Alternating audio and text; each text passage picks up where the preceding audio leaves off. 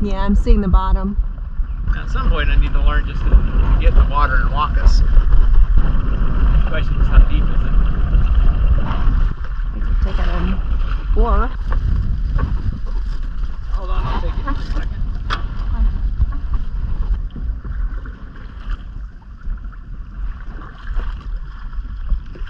If this was my quest for you to get out and do this for me, I you said I be- would do you it. wouldn't be doing it. I said I would do it. All right, hold on. I can get out. Oh.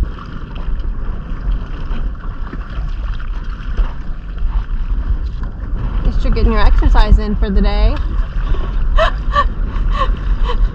Better than running, probably.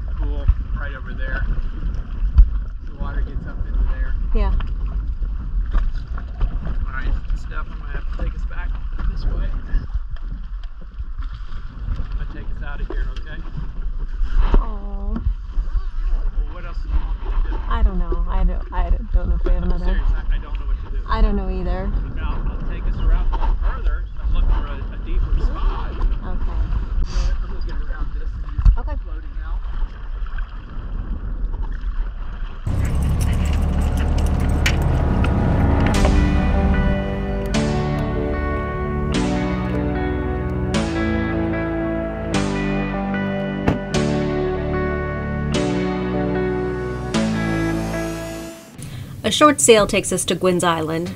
Gwynn's Island is a marshy triangle about four miles long and one mile wide with a population of around 800. It has one restaurant, a local museum, an RV park, and a public pier. It is accessible to the mainland by a swing bridge with a vertical clearance of 12 feet. So we contact the bridge keeper and wait for the bridge to open. Then we head to Edwards Creek where we plan to anchor for the night. After successfully anchoring in Edwards Creek, we head to Sandy Point Beach to see if we can find a place to land the dinghy.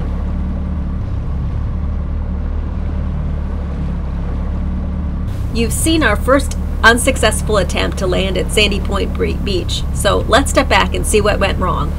I believe it was closer to the marsh area. Supposedly there's a, uh, there's an inlet right up here, isn't there? Way over here. I know, but there's one over here too. Um. Yes, if it cover, it, sometimes it goes all the way across. So it right past this? Because I don't see an inlet here. It must be higher up. it was either here by the marshy area or it was Yeah, over so here. let's look down at the water and see if we can see getting shallow. Yeah.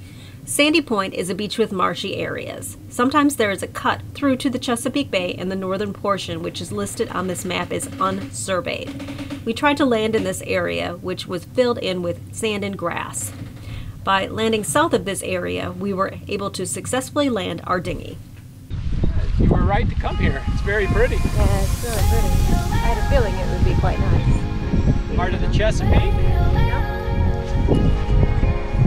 30 miles that way is the Hamptons. Nobody around. Cold enough for sweatshirts in the morning, but the water's warm enough you can walk in it. I couldn't how warm the water was. Like as warm as the air temperature. Well, not quite, but pretty close. Pretty close. Yeah,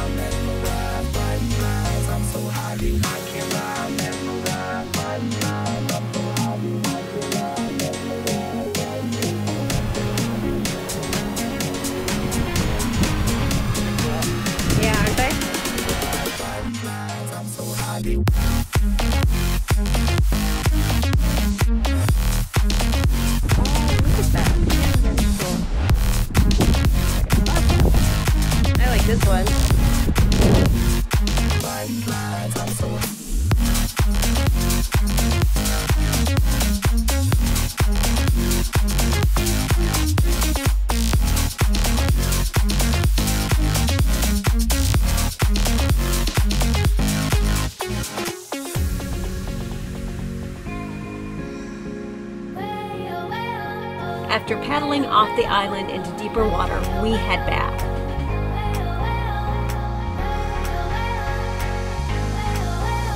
We are greeted in the morning by the fishermen and oystermen starting their workday. We watch an oyster boat circle an area by use of a line at the top of a pole. For several hours, the men repeatedly haul their basket, upload the oysters, drop their basket, and pick through the oysters.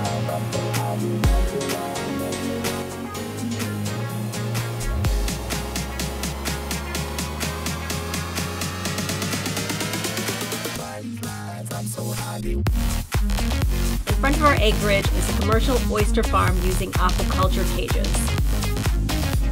Flipping the cages periodically prevents their fouling and reduces the need to power wash the cages.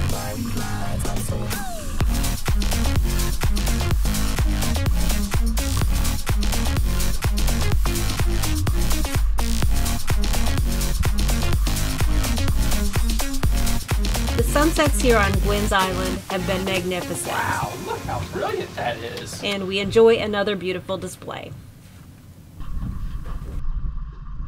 Mocha. Mocha. Come on, Mocha. Good boy. Sit. Nuala. Nuala. Nuala.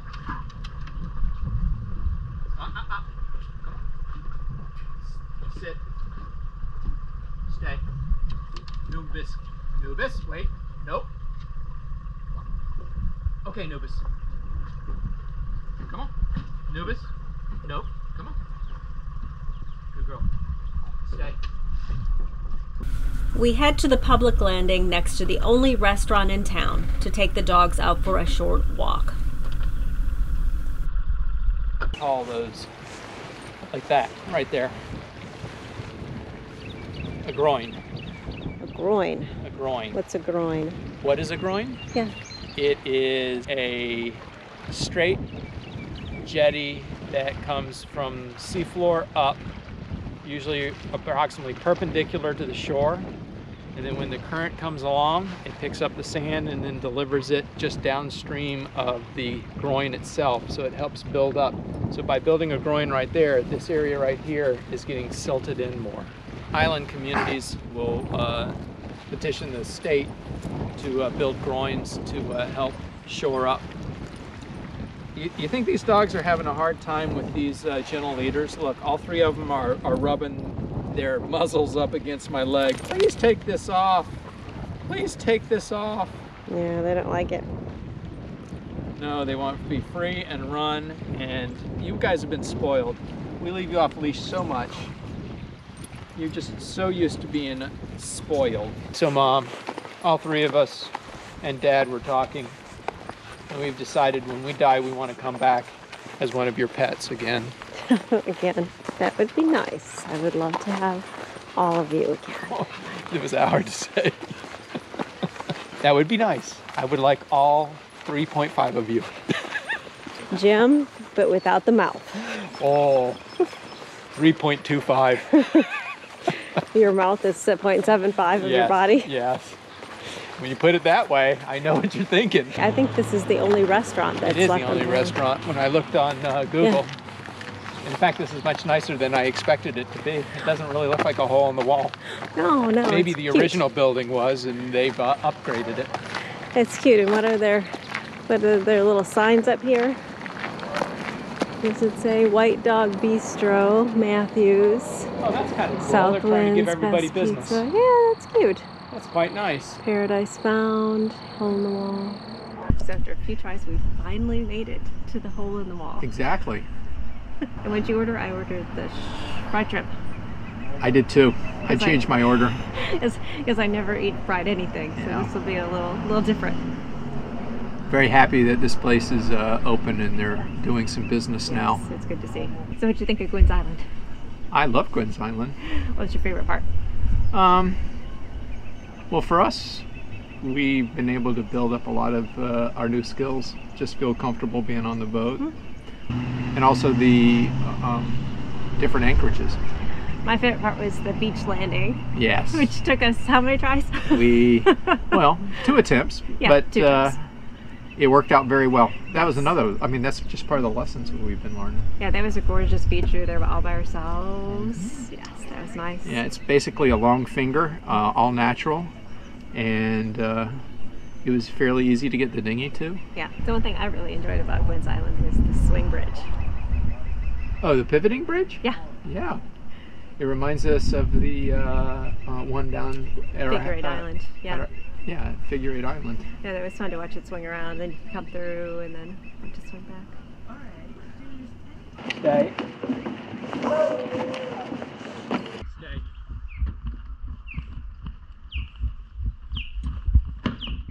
Mocha. Come. Come on. Wait. Come on. Off. Step. Okay. Okay. Hey guys. I know Nuala gets down there, but she's scaredy pop.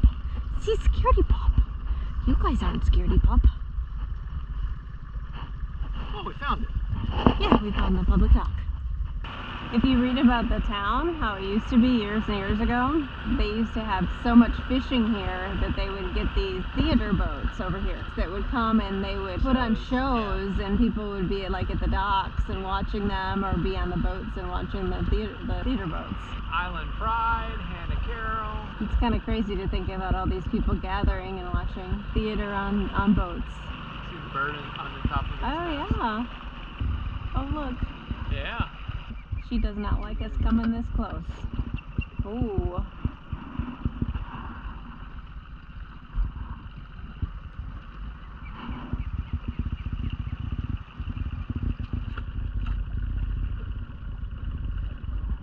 Our time at Gwynn's Island has come to an end. We wait for the swing bridge to open and say goodbye as we leave.